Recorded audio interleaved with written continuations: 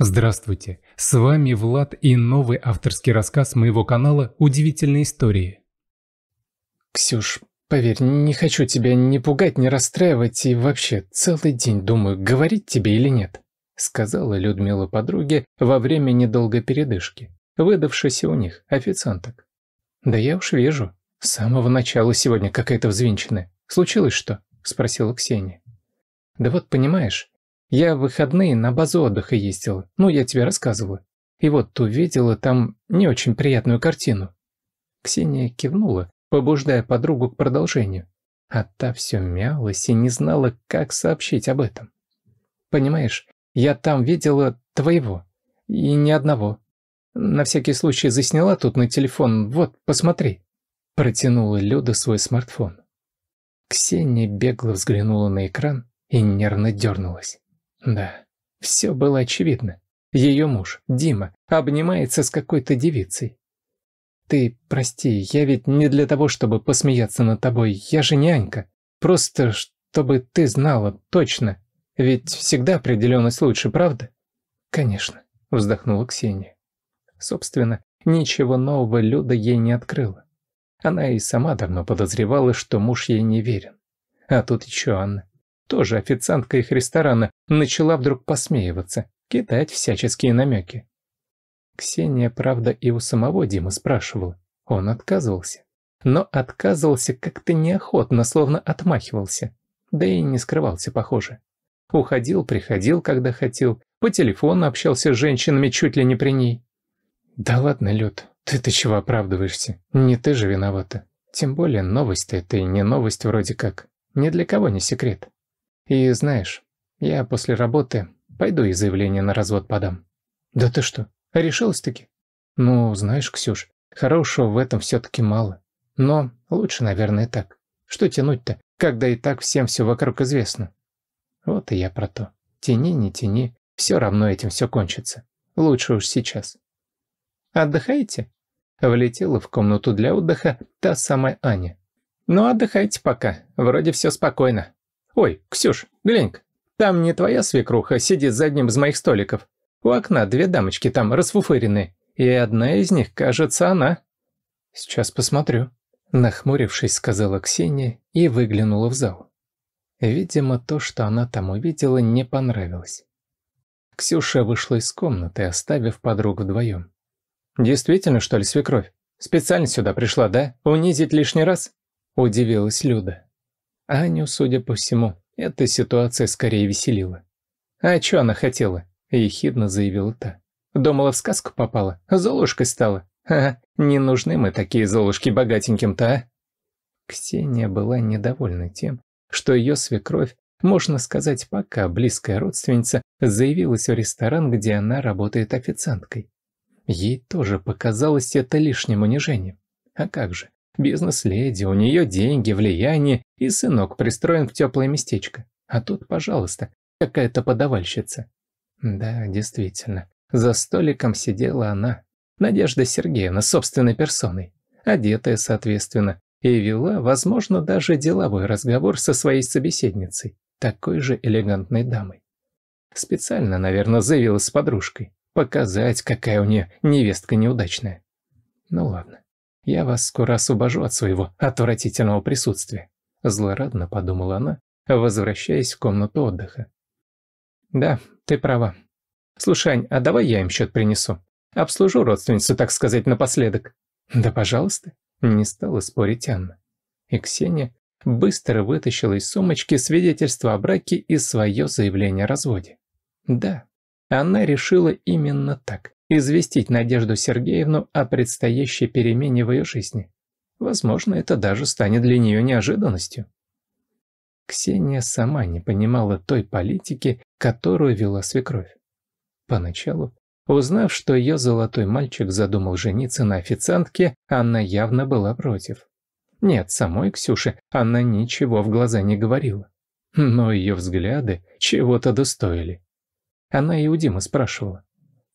«Твоей маме я, кажется, не нравлюсь. Похоже, она рада была бы от меня избавиться». «Да брось ты, не обращай внимания. Все свекрови такие», — отмахивался он. Да, в то время У них была любовь, да еще и какая. Если бы даже мама запретила сыну жениться на какой-то официанточке, он бы ее не послушал. Но незадолго до свадьбы Надежда Сергеевна вдруг не то что подобрела к будущей невестке, но все же стала относиться к ней хотя бы человечно.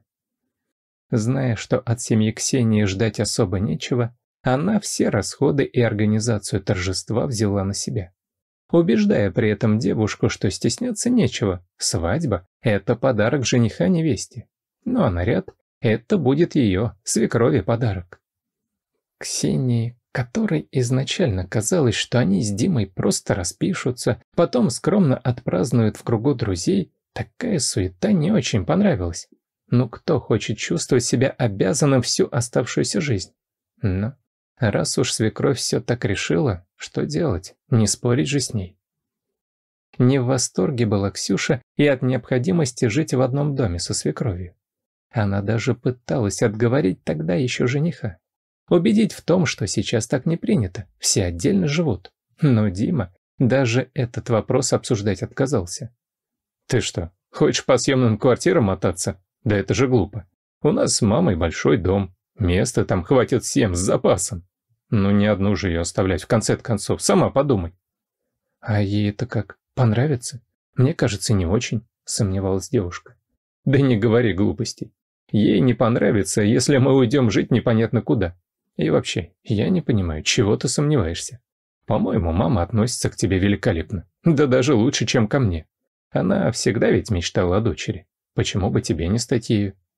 Она работает вообще-то, кстати. Ее порой целыми днями не бывает. В командировке часто ездит. Так что наживемся мы с тобой вдвоем. Ксения согласилась. Во-первых, потому что доводы жениха были очень логичны, убедительны, а ей возразить-то было нечего. Во-вторых, подействовали его слова о том, что Надежда Сергеевна, вероятно, хочет видеть в будущей невестке дочь. Ну да, она, возможно, не всегда так уж явно показывает свое расположение Ксюше, но ведь они с ее сыном пока и не женаты. У будущей свекрови и невестки не было еще возможности привыкнуть друг к другу. А потом, если они готовы жить как родные люди, то почему бы и нет? Ведь Ксюша сама мечтала о хорошей, полной семье, о настоящей заботливой маме. А расти пришлось с родителями, которые были к ней в лучшем случае равнодушными, к тому же любили выпить. В подростковом возрасте девушка даже начала сомневаться, а является ли она дочерью этих людей. Слишком многое намекало об обратном. И внешнее несходство, и отношения, да и некоторые фразы, сказанные в хмелю, тоже были слишком подозрительными. Но напрямую спрашивать отца с матерью она не решалась. И очень рано задумалась о том, что надо бы уходить из дома, где она явно лишнее. В школе Ксюша училась совсем неплохо, но продолжить образование не смогла из-за материальных проблем. Поэтому была рада, устроившись официанткой. Работа дала ей возможность снять комнату и съехать от родителей. А потом познакомилась с Димой. И это давало надежду, что у нее будет настоящая семья. Ведь они любят друг друга. И Надежда Сергеевна тоже стала относиться к ней неплохо. Может, пока не как к дочери, но ведь она в конце концов и не мать ей. К тому же, женщина деловая, ей просто некогда особо расточать нежности. И вот свадьба состоялась. Ксения переехала в богатый дом. Поначалу все было даже неплохо. Можно сказать, хорошо. Ксюша была счастлива. Они с Димой любят друг друга, ну что еще пожелать?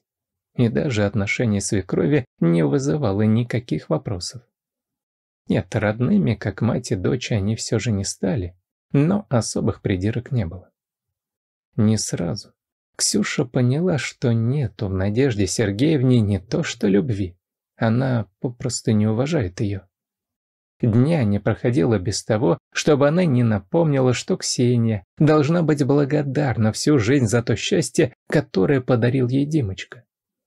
В первые же дни, водя девушку по дому и показывая, что и как, она то и дело приговаривала. «Ну что, представляла ли ты, что будешь так жить? Да, тебе это кажется сказкой, наверное, после той дыры, где ты жила. Да откуда ты знаешь, как я жила раньше? С досадой думала Ксюша. Хотя не могла не признать правоту свекрови. Да, жила она в дыре. Да, этот дом для нее действительно сказка. Только вот почему свекровь так ей все это демонстрирует? Словно Ксения вошла сюда не на правах жены хозяина, то есть почти сама как хозяйка, а будто нанимается домработницей. Надежда Сергеевна не только хвасталась своим богатством, а объясняла, как зачем ухаживать, что можно трогать, что желательно нет, да сколько что стоит и чем именно оно дорого. Вот эта коллекция фарфора очень дорогая, старинная. С ней нужно быть поаккуратней. Очень тебя прошу, не разбей ни одно блюдце. Вообще ничего не разбей. Если будешь протирать, то, пожалуйста, осторожнее. После таких слов Ксении хотелось одним взмахом сбить всю эту коллекцию на пол, чтобы разлетелась в дребезги. И зачем она мне все это говорит, если не доверяет? Ну, пожалуйста, сама протирай свой драгоценный фарфор. Мне это вообще ни к чему, думала девушка. Вообще, домработница у Надежды Сергеевны была. Пожилая тетя Таня, которая знала эту семью с давних пор. Она еще нянькой у Димы была. Постоянно в доме не жила, но приходила несколько раз в неделю, чтобы прибраться и приготовить. Надежда Сергеевна всячески демонстрировала свою любовь к этой женщине. Хотя Ксюша прекрасно видела все притворство. Какая уж там любовь. Она и тетю Таню, скорее всего, презирает. Да и сама пожилая домработница это прекрасно чувствовала. И как-то откровенно сказала Ксении. «Ох, мягко она стелит, да только змеюка, она и есть змеюка». «Это почему?» – слегка удивилась девушка. Мне кажется, она на самом деле неплохая женщина. Да кто ж говорит, что плохая? Не такая, что плохая, а просто себе на уме. О себе очень много думает, а других в упор не видит. Ты, наверное, на родство надеешься. Что ты все-таки невеста? Нет, не надейся.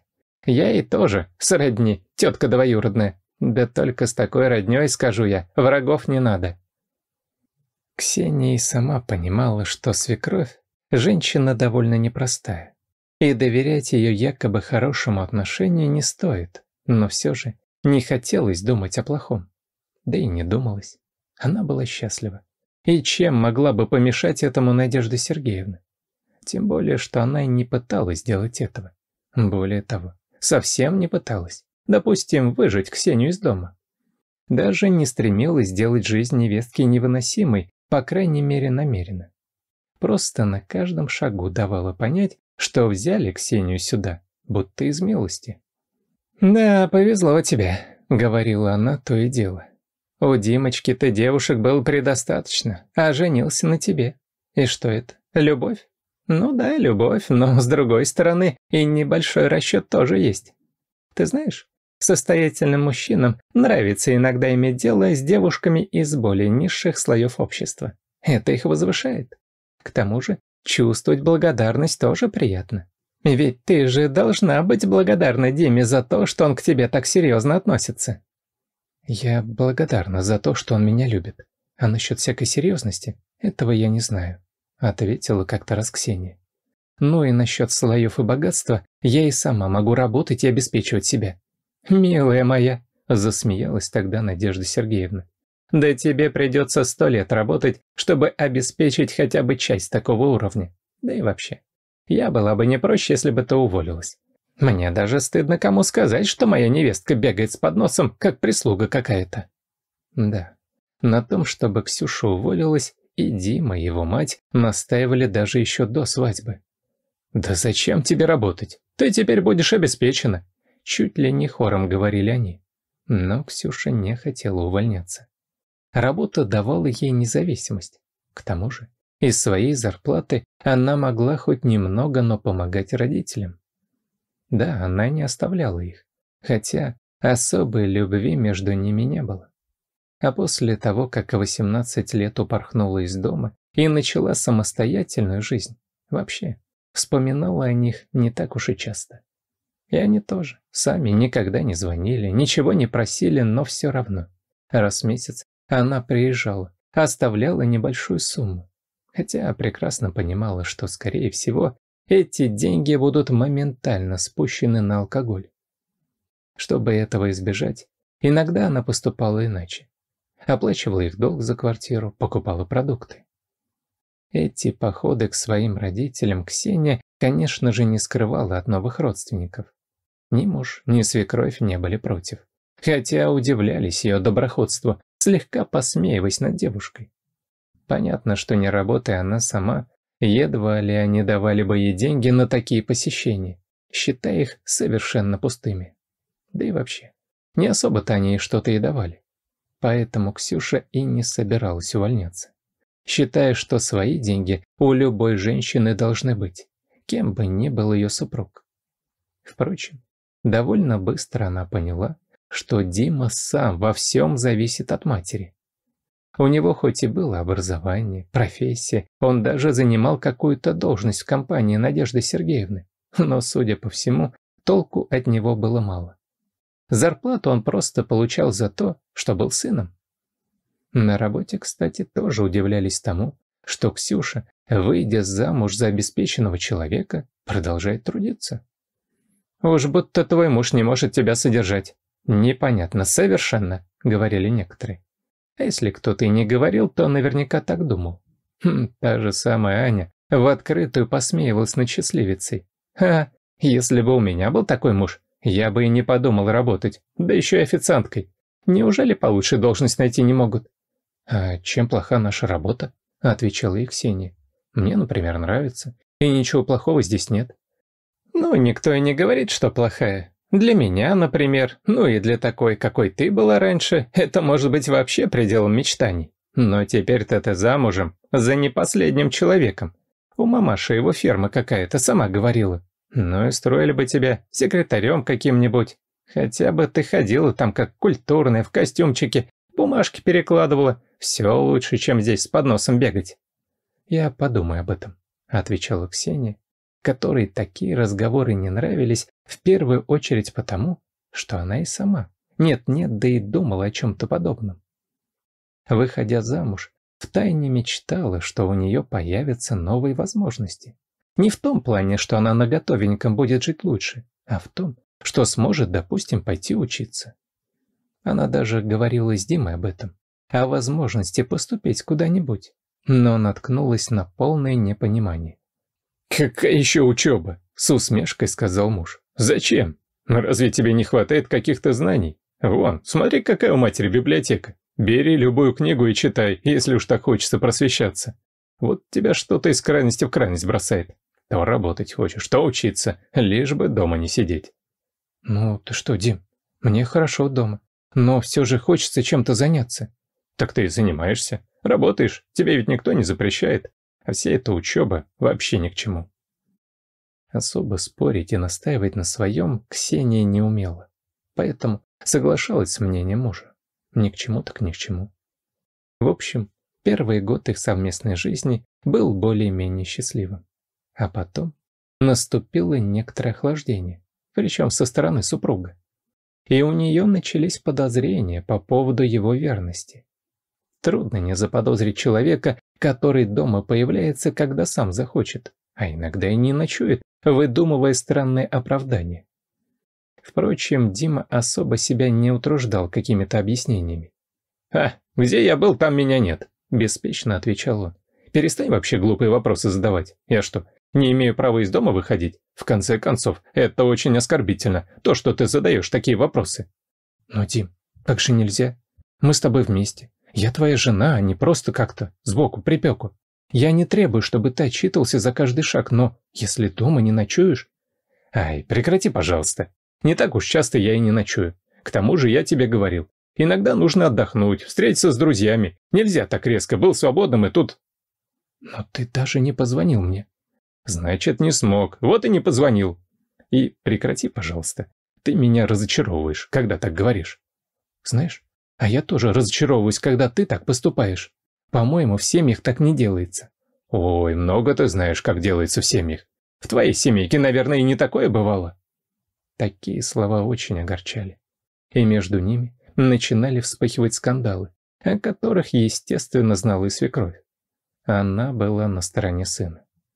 «Ты не права, Ксения. У мужчин действительно могут быть какие-то свои потребности. И это не обязательно измены, гулянки и всякое прочее, чего ты так опасаешься. Может, он действительно встретился с друзьями, отдыхает от семьи», – внушала она невестке. «Может, он захочет вообще от меня отдохнуть и развестись?» – выпалила девушка, сама испугавшись своих слов. Свекровь же не испугалась, но выразила свое недовольство. «Думай, о чем говоришь, Ксюшенька. Какой развод? Поженились, живите до гроба. Никаких разводов не будет. Даже не говори об этом, а то накаркаешь. Успокойся и живи себе счастливо. Не думаю, что там, откуда тебя Димочка взял, ты будешь жить более спокойно. А вот это действительно было так. Иногда Ксению настолько припекало такое отношение, что она всерьез думала о том, чтобы уйти от мужа. Но в том-то и дело, уйти было некуда. Да и не хотелось. Любила она Дмитрия и, говоря о разводе, хотела слышать не такие слова, которые говорила Надежда Сергеевна. Девушка ждала, что сам Дима испугается, обнимет ее, попросит прощения, пообещает больше так не делать. Но этого не происходило. Он по-прежнему жил, как хотел. И мать явно ему потакала, а иногда даже и покрывала его отсутствие дома. Дима вообще-то деловой человек. Я отправил его по делу. Он не может оттуда позвонить. — говорила она. А Ксюша понимала, ни по какому делу ее муж не уезжал. Наверняка гуляет где-то. Да, ей это не нравилось, но поделать она ничего не могла. Терпела и загулы, и одиночество, и мелкие, но болезненные шпильки, которые запускали прямо в сердце подружки. Но всякому терпению приходит конец. Поэтому после очередного, особо наглого поступка мужа, она сегодня пришла на работу со свидетельством о браке и заявлением на развод. Ксюша была настроена очень серьезно. Собиралась сначала зайти к адвокату, узнать от него все подробности дальнейших действий. Сейчас же хотела поступить иначе. Сообщить свекрови, что ей надоела такая благодать в их доме, и она твердо решила развестись. И теперь предоставился удобный случай сообщить об этом Надежде Сергеевне довольно оригинальным способом. Она вложила свидетельство о браке и заявление в папку для меню. И когда две дамы подали знак, что хотят расплатиться, подошла, как можно вежливее поздоровалась и положила перед свекровью папку. Та, открыв, увидела, что ей принесли, и недоуменно уставилась на невестку. Ксюша, развернувшись, ушла в раздевалку. «Девочки, простите, я сегодня пораньше уйду», — сказала она коллегам. «А администратору потом скажете, что мне плохо стало, ну или еще что-нибудь. Домой надо срочно. Вещи собрать и уйти куда подальше. Люд, примешь меня на первое время, а потом я квартиру сниму». «Да, конечно, живи сколько хочешь», — согласилась подруга, несколько растерявшись от такой решительности. «Ммм, недолго музычка играла. Ядовито заметила Аня. Правильно говорят, не садись не в свои сани. Но Ксению уже не задевали такие замечания. Она твердо решила, разводится с мужем и пускай об этом говорят, что хотят. В раздевалку вбежала еще одна официантка. «Там посетительница эта, которую ты, Ксюша, обслуживала, тебя требует. Говорит, позовите Ксению. Чего там у тебя с ней вышло?» «А, ничего особенного», — ответила Ксения. Скажи, что я с ней разговаривать не хочу, и что я уже ушла. Пускай пишет жалобу, если ей что-то не нравится. администратору и директору это не понравится. Ты со своими уж как хочешь разбирайся, а это все-таки работа», — сказала Аня. Но Ксения уже не слушала ее. Она спешила домой. Действительно, ей не хотелось разговаривать больше с Димой, ни уж тем более с Надеждой Сергеевной. А потому лучше было прямо сейчас собрать вещи и уехать. Развод неизбежен, и изменить уже ничего нельзя. Мужа, разумеется, дома не было. Только тетя Таня возилась на кухне. Удивившись раннему возвращению Ксюши, она зашла в ее комнату и заметила, что та собирает вещи. «Ты что это? Никак сбежать надумала?» – удивилась она. «Да, тетя Тань, надоело мне все здесь. Ну, сами видите, какое отношение. Я себя приживалкой какой-то чувствую. Не могу так больше», – ответила девушка. И правильно, одобрил ее поступок домработница.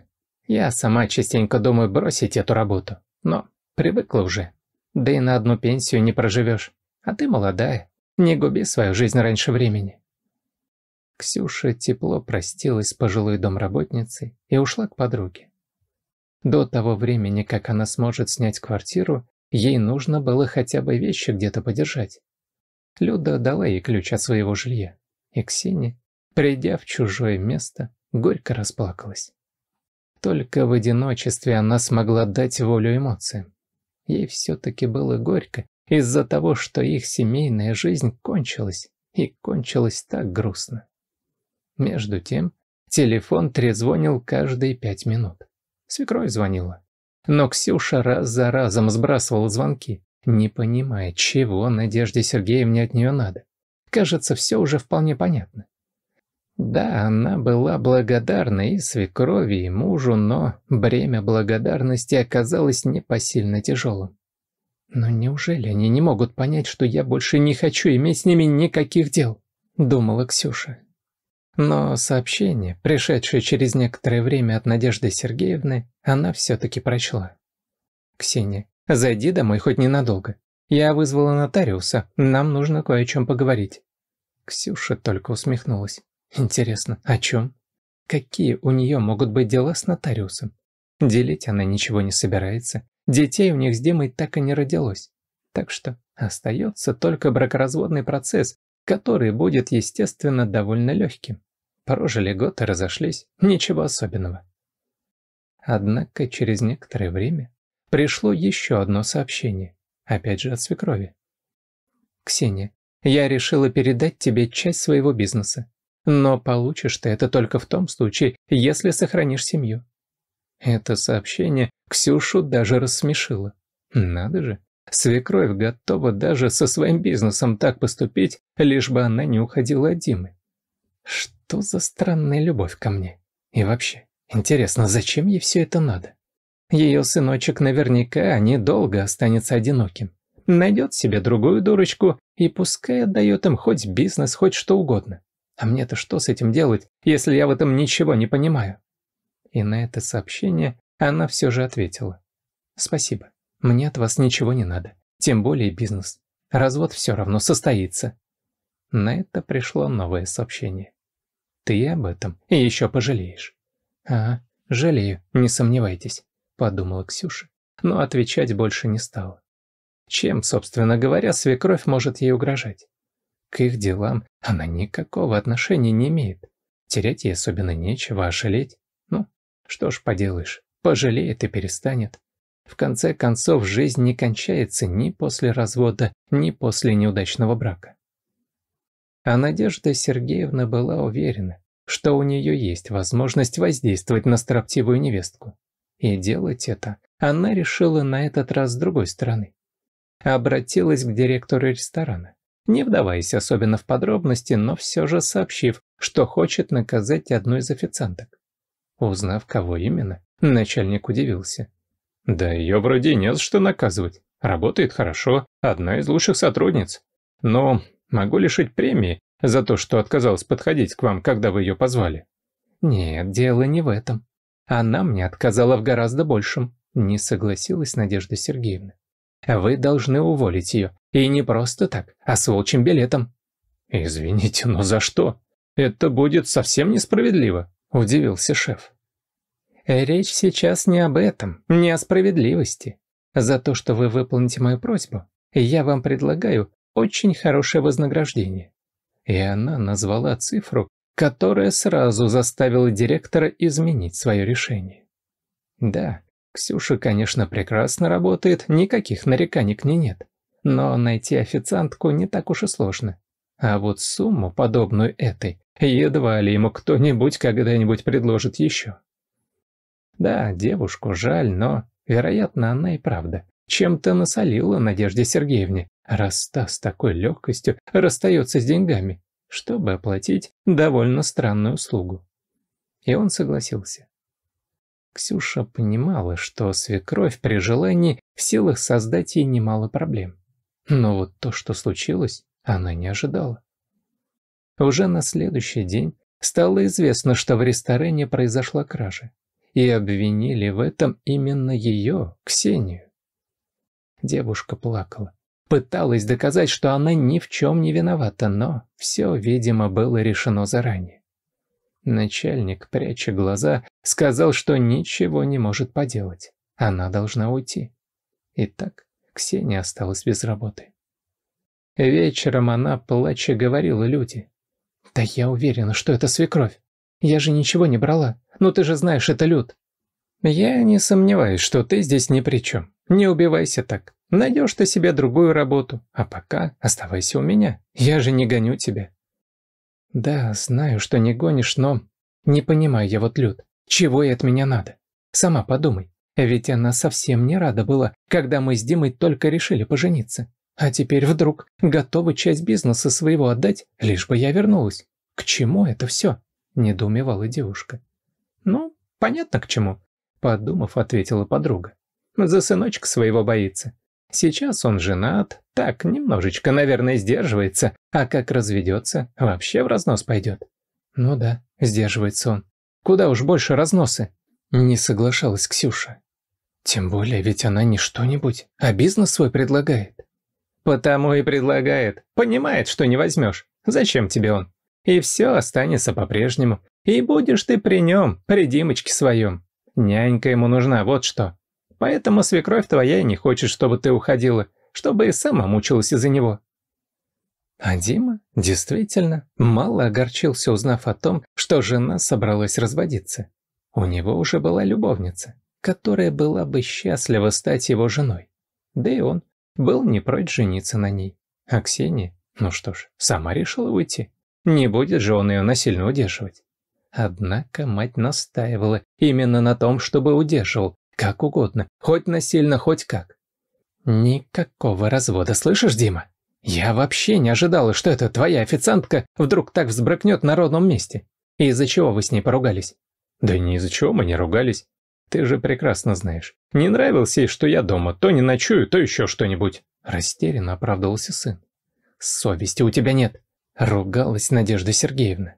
Вот возвращаю, теперь как знаешь. Хоть в ногах валяйся. Обещай хоть Тадж-Махал для нее построить, но чтобы вернулась. Мам, я что-то не понял. В чем дело-то? Удивлялся Дима. Зачем она тебе так понадобилась? А тебя это не касается. Делай, как я говорю. Ревкнула мать. «Ничего себе не касается. Вообще-то это моя жизнь. И касается она в первую очередь меня». Решил было проявить твердость Дмитрий. «А тебе волноваться не о чем. Я на другой женюсь, хоть завтра. Во всяком случае, на следующий день после развода». «Никакого развода!» – кричала Надежда Сергеевна. «И никакой женитьбы ни на ком другом. Ты понимаешь, что это репутация? Я не последний человек в городе. И вдруг такой скандал. Мой сын разведен. Мам, ты меня, конечно, извини. В каком веке мы живем? Сейчас развод – это пустяк. Никто на это внимание не обращает. Все по десять раз разводятся, и никакая репутация от этого не страдает. Ты сейчас у меня пострадаешь. Немедленно разыскивай жену. Проси прощения, восстанавливай свою личную жизнь только с ней. Я не возражаю. Пусть у тебя будет хоть сто любовниц, но жена только одна. И жить ты должен только с ней. Запомни это. Подчиняясь матери, Дмитрий все же позвонил Ксении. Она трубку взяла, но сообщила, что возвращаться не собирается. И все равно, они разведутся. «Ну и дура!» – только и ответил ей супруг, бросая трубку. Он понимал, с мамой его ждет не самый приятный разговор. Но он ничего не мог поделать. «Да ты пойми, мам, где бы я ни валялся, как бы ни умолял, она все равно не вернется. Упрямая, как коза. «Это ты упрямый хуже всякой козы!» Разозлилась Надежда Сергеевна. «Простейшее поручение выполнить не можешь. Все должна я делать за тебя, взрослого человека!» А Ксения тем временем ни о каких возвратах не думала. Она искала работу. И с каждым днем все яснее понимала, что сделать это будет очень трудно. Слух о ней и ее неподобающем поведении уже пошел по городу. Получив несколько отказов, девушка решила, что ей нужно в первую очередь найти хоть какой-нибудь заработок. И раз в рестораны путь закрыт, то можно попытать счастье в какой-нибудь другой области. Однако единственное, что удалось найти, это раздавать бесплатные газеты на улице. Работа, разумеется, не самая престижная. И зарплата тоже не такая, которая позволяла бы жить безбедно. Но хоть что-то. На первое время сойдет. Место для работы выбрала подальше от прежнего богатого дома. Не хотела даже случайно увидеть мужа или свекровь. А потому стала возле станции метро с раннего утра и до обеда раздавала газеты. Да, работа невеселая. Не самая приятная, не высокооплачиваемая, но все же. Единственное, чем можно было разнообразить свой рабочий день, смотреть на людей. Чуть ли не в первую смену ее внимание привлек один маленький человечек. Мальчишка лет восьми. Явно не очень ухоженный, но очень вежливый. А занимался он тем, что попрошайничал. У людей деньги. У Ксении сжималось сердце при виде такого несчастного ребенка. Она подумала, что он, видимо, живет в какой-то неблагополучной семье. Возможно, родители его пьют, и у него нет денег даже на еду.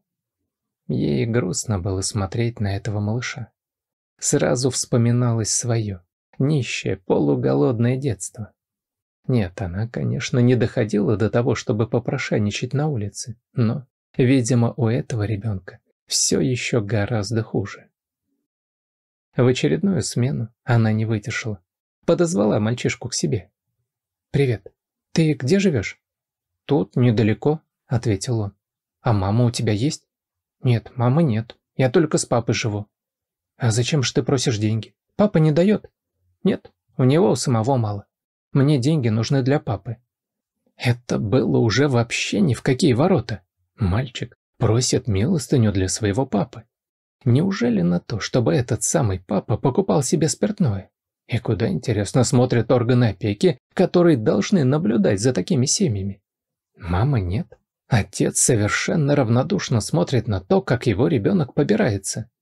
И она предложила. «Ты знаешь, я дам тебе денег, ну, сколько могу. Не то чтобы много, у меня самой мало. Но давай ты меня сводишь к себе в гости. Просто хочу повидаться с твоим папой». «О, зачем это?» – удивился мальчик. «Ну, надо мне с ним поговорить. Не бойся, ничего плохого я ни ему, ни тебе не скажу». «Ладно, сходим в гости. Только давайте так, вы ему не скажете, откуда у меня деньги, потому что он не знает. Вы скажете, что я вам помогаю газеты раздавать, и за это вы мне платите». «Договорились. Пойду на такой обман», — сказала Ксения. И когда она раздала последний экземпляр, они вместе отправились к маленькому Вите. «Пап, я не один!» — крикнул мальчик, открыв дверь квартиры. Из комнаты выехал мужчина на стареньком шатающемся инвалидном кресле. «Здравствуйте», – удивленно сказал он. «Здрасте». Поняв, что все не так, как она опасалась, ответила Ксения. Мужчина был явно инвалидом. И никаких следов алкоголизма на его лице не было. Он был не в силах оказывать помощь своему сыну вовсе не из-за своих дурных привычек, а просто не мог. «Вы по какому-то делу?» – спросил он. «По делу? Ну, я не знаю. Поговорить с вами хотела, если вы не против, конечно». «Ну, если не очень неприятный разговор, то не против. Случилось что-то? Неужели Витька что он творил?» «Нет, что вы, он ничего не делал», — возразила Ксения. «Хороший очень мальчишка, помогает мне». Разговаривать с мужчиной при ребенке она не хотела. И тот, видимо догадавшись, сказал сыну. «Ну что ведь, раз гостей пригласил, надо их угощать. Иди-ка поставь чайник, а мы пока поговорим». «Хорошо», — ответил сын, видимо догадавшийся, что взрослые не хотят общаться при нем. Комната, в которую мужчина привел Ксению, оказалась чистой и довольно убранной, совсем не напоминающей приют алкоголиков. «Вы простите, если вам покажется, что я лезу не в свое дело», — начала Ксюша. «Но просто мне странно стало, что маленький мальчик на улице целый день. Я не знала, что...» — смутилась она. «А, не знали, что я инвалид? Подумали, что какой-то алкаш, который за своим ребенком не следит. Ну, я-то как раз не пью. И не имею ничего против, что он выходит иногда погулять. Я же не могу его сопровождать. Коляска, сами видите, в любой момент развалиться может. Я и по дому-то аккуратно езжу. Вот так и живем». Простите, я действительно подумала нехорошее, но вижу, что очень ошиблась. А что с вами произошло? Да что, авария, травма позвоночника. Жена погибла. Он кивнул на портрет молодой женщины, висящей на стене. А я вот выжил, к сожалению, наверное. Иногда и сам думаю, что Витьке лучше было бы в детском доме. Ну что вы, он вас очень любит. И вообще, хороший мальчишка, воспитанный. А вы лечитесь как-нибудь? Ведь сейчас восстанавливаются люди после разных травм. Ммм, восстанавливаются. Я бы восстановился, но тут такая операция нужна. Больших денег стоит, которых у меня, естественно, нет. Что там моя пенсия да Витькина по потере матери? Это только так, на жизнь, а уж такие излишества. Да, ужасно, посочувствовала Ксения. Напившись в гостях чаю с самым дешевым печеньем, она шла домой, глотая слезы. Ей правда было стыдно. Анна еще переживает из-за своих каких-то бед. Да какие там у нее беды, подумаешь. А вот где беда. Ребенок без матери с отцом-инвалидом, который мог бы поправиться, но она ведь ничем помочь не могла. Тем временем в ее бывшей семье продолжались скандалы. Надежда Сергеевна ежедневно пилила сына, требуя вернуть Ксению. «Мам, ну что я могу тебе сказать? Она не хочет, даже отказывается со мной разговаривать», – оправдывался Дима. «Ну что ты за мужик такой? Женщину болтать не можешь. Ты должен ее вернуть. И будь любезен, сделай это. Пообещай ей что-нибудь, покайся. От этого зависит твое будущее, ну как ты не понимаешь?» Он ничего не понимал, но чувствовал, что мать, видимо, знает что-то, от чего действительно может зависеть их благосостояние, а потому регулярно набирал Ксении. Однако она, поняв, что слова на него не действуют, попросту внесла его в черный список. В конце концов, осознав, что от сына никакого толка она не добьется, свекровь разозлилась. «Ничего-то ты сам не можешь, все на меня сваливаешь. Ладно, я уж что-нибудь придумаю, сама приползет как миленькая». И она решила разузнать все о теперешней жизни Ксении, чтобы воздействовать на нее хоть как-то. Сама же девушка не подозревала о планах своих бывших родственников. Она была больше занята новым знакомством. Ее очень тронула история Вити Михаила, и она хотела помочь им. Поразмыслив, вспомнила о силе рекламы. Решила применить этот способ. В конце концов, ходящий среди взрослых людей и попрошайничающий мальчик у кого-то может вызвать возмущение, у кого-то сочувствие, но люди же не знают, кто он и зачем просит деньги. А Витя по секрету признался ей, что копит на операцию для папы, мечтая когда-нибудь, что папа опять сможет ходить. Конечно, таким образом много не напросишь. И Ксения написала небольшой плакат, что мальчик собирает деньги на операцию инвалиду отцу. Там были и банковские реквизиты, и описание болезни Михаила, подкрепленное заключением врачей. Ксюша надеялась, что таким образом можно будет собрать гораздо больше. Она была очень тронута историей этой несчастной, обездоленной семьи. А со временем, посещая Михаила и Витю, поняла. Она испытывает к отцу мальчика не только сочувствие. Он понравился ей, как мужчина. Но была у нее еще одна забота. Развод ведь еще не оформлен. Когда она обратилась за этим к Диме, тот поднял крик. «Никакого развода не будет. Ты должна вернуться ко мне, и мы будем вместе. Неужели ты этого не можешь понять? Того, что все равно у тебя ничего не получится». «Почему не получится? Кто меня сможет заставить жить с тобой?» ответила Ксюша, еще не подозревая, что такой человек на самом деле есть, а именно ее бывшая свекровь. Надежда Сергеевна следила за девушкой, пытаясь понять, где, как она теперь живет, и уже довольно продвинулась в своих изысканиях. Разумеется, Ксюша об этом ничего не знала. Она даже понять не могла, что свекрови нужно от нее. Хотелось просто как можно быстрее оформить развод. Казалось, что таким образом она навсегда прекратит всякие отношения с Димой и его матерью. Но муж от уговоров перешел к оскорблениям, а потом и к запугиваниям. Не получишь ты никакого развода, а будешь упираться. У моей матери большие связи, и лучше тебе их не испытывать». «Да пропадите вы оба пропадом!» Не выдержала, наконец, Ксения. «Не даешь развод? Ну и пожалуйста. Пускай у тебя в паспорте остается этот штамп. Не сможешь ни на ком больше жениться. А мне развод прямо сейчас особо и не нужен». Вспылила Ксения, которой надоели эти разборки. У нее другие заботы появились. Она беспокоилась за Витю его отца, мечтая помочь этим людям. Надо сказать, что с ее плакатом мальчишка собирал теперь денег побольше. Но все равно, это, конечно, было все ни о чем. На операцию так можно было накопить через очень много лет. Однако Ксюша верила. Что-то должно им помочь. Как-то к ней подошла пожилая пара. Мужчина и женщина совершенно незнакомые, но с первого взгляда вызвавшие какую-то симпатию и доверие. И сами они глядели на нее внимательно и с таким выражением. Ксюша и сама не могла понять, что в этом взгляде так зацепило ее. А незнакомка спросила.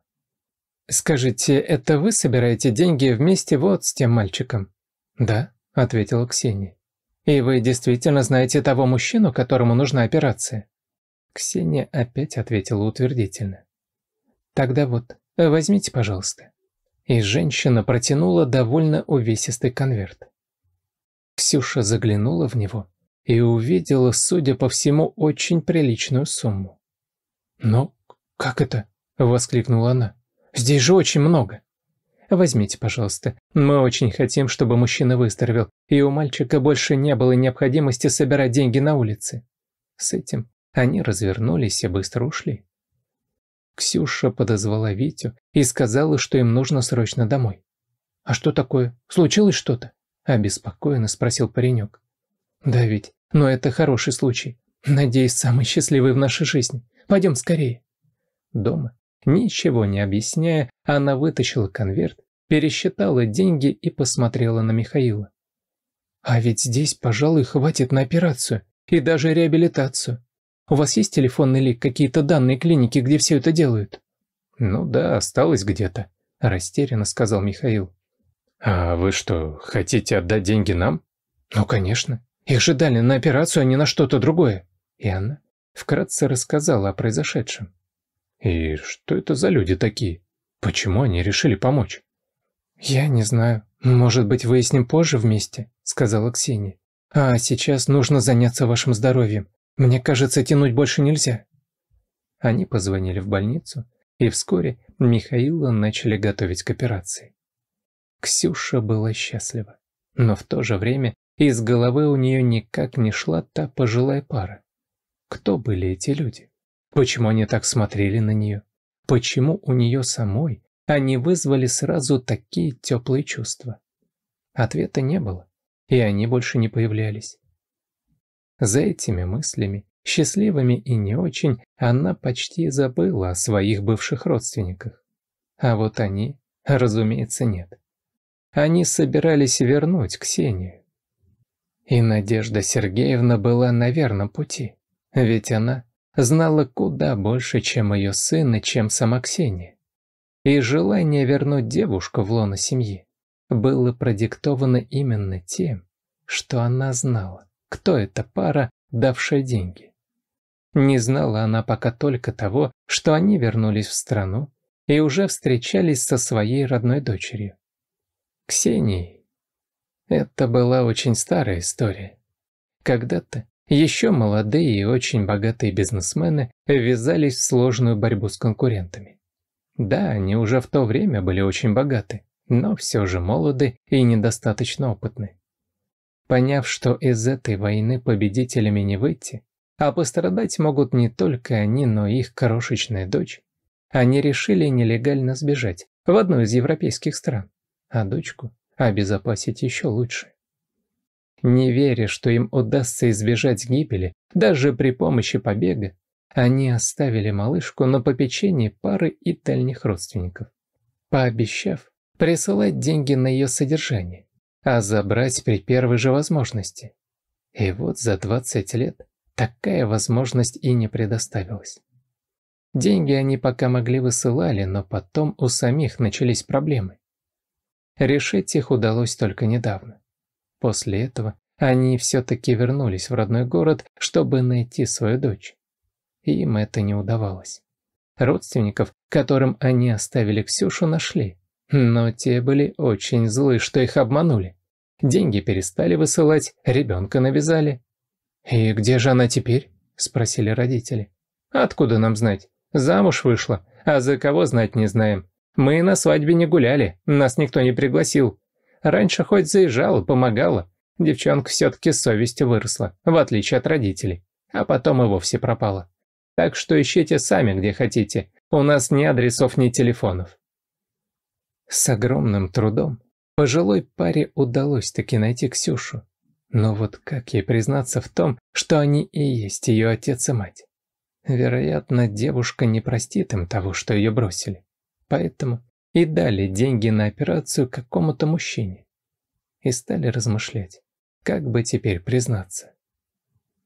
Надежда Сергеевна, оказывается, знала тайну рождения Ксении. Потому-то она и не была против брака с Виктором.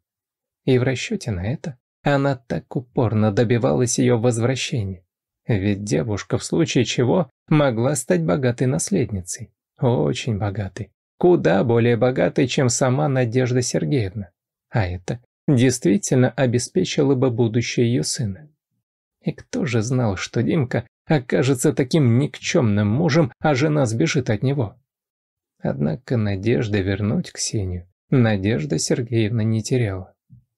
Узнав о том, что девушка живет сейчас у какого-то мужчины, лежащего в больнице, и сама ухаживает за его сыном, которому очень привязана, решила действовать через этого паренька. И как-то Витя не вернулся домой. Ксения была в ужасе. Куда мог деться мальчишка? Никаких сообщений о, допустим, выкупе не поступало. Да и какой может быть выкуп? Ей в голову не приходило, что похитить ребенка могла бывшая свекровь с целью шантажа.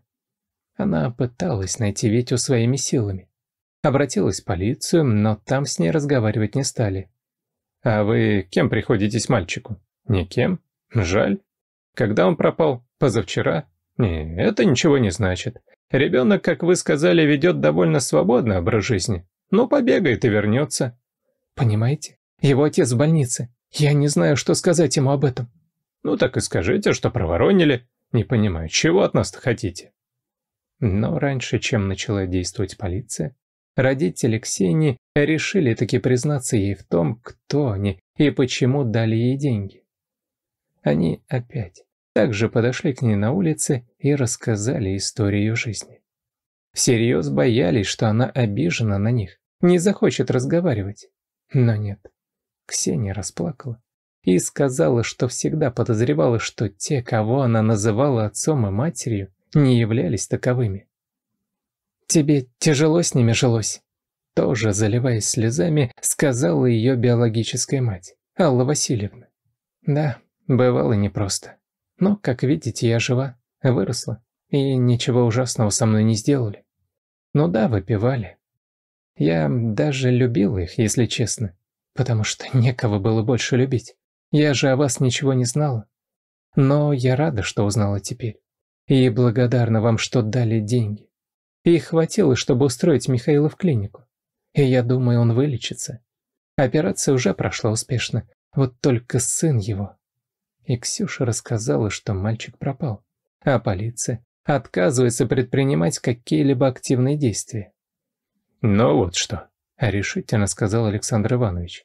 «Я найду мальчика. Начну прямо сейчас. Ну, не сам, конечно, обращусь к частным детективам. Уж они-то ждать не будут, когда ребенок сам появится неизвестно откуда и неизвестно еще в каком виде». «Спасибо вам огромное. Вы даже не представляете, что сделаете для меня.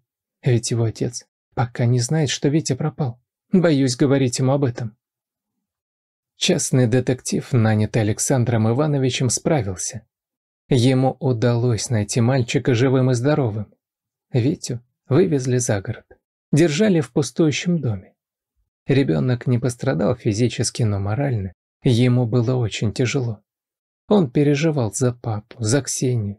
К тому же его свободолюбивая натура протестовала против того, что его держат где-то в заперти. Он пытался сбежать, но его охраняли. Ведь он нужен был Надежде Сергеевне, которая уже совсем была собралась сообщить Ксюше, что вернет мальчишку только в случае, если та сама вернется к Диме. И, возможно, этот план сработал бы. Но Витю раньше нашел детектив. «Витенька», — плакала Ксения, — «что случилось? Кто тебя забрал и кто держал в этом доме?» «Не знаю. Тетя какая-то. Сказала, что вернет меня, если ты выполнишь ее условия. Ты их выполнила?» «Нет, к счастью, этого не пришлось делать, потому что... Ну, в общем, я тебе потом как-нибудь расскажу. Ты не представляешь, как я переживал из-за тебя». «Представляю. Я сам очень переживал. Думал, что если меня похитили, то, может, и с тобой что-нибудь плохое сделают. А как сейчас папа? Мы поедем к нему в больницу?» «Конечно, поедем. Он очень скучает по тебе. Я не говорила, что тебя украли, чтобы не расстраивать. Была уверена, что найдешься. И вот ты со мной. Я так счастлива. Я тоже». Счастливы были и родители Ксении. Они нашли дочь и наладили с ней нормальные отношения. К тому же помогли ей решить некоторые проблемы, с которыми она не справилась бы без них. Ксения уже знала, что родные мама и папа живут в Европе и живут вполне обеспеченно. Они звали ее с собой, но она отказалась. «Мы лучше приедем к вам в гости все вместе, а там уж будет видно. Я никуда не могу уехать. Нужно решить некоторые вопросы, а главное – дождаться Михаила из клиники. Он сейчас проходит реабилитацию, и надеюсь, что скоро будет здоров». «Да уж, Главное наказать тех, кто виноват в похищении Вити. Это очень серьезное преступление, его нельзя оставлять безнаказанным», строго сказал Александр Иванович. «Конечно. Витя не откажется дать показания, и я догадываюсь, кто все это сделал. Думаю, Надежда Сергеевна со своим сыночком ответит за эти проделки». Так все и случилось. Все причастные к похищению получили по заслугам. Михаил вполне здоровый, выписался из клиники. И вскоре Ксения вышла за него замуж, а затем и усыновила Витю. Только сейчас она узнала, что значит быть по-настоящему счастливой. У нее были любимый муж, сын и родители, которые больше не собирались оставлять ее. Если вам понравился рассказ, просьба поддержать меня кнопкой «Палец вверх». Одно простое действие, но для меня это очень важно. Всего вам доброго.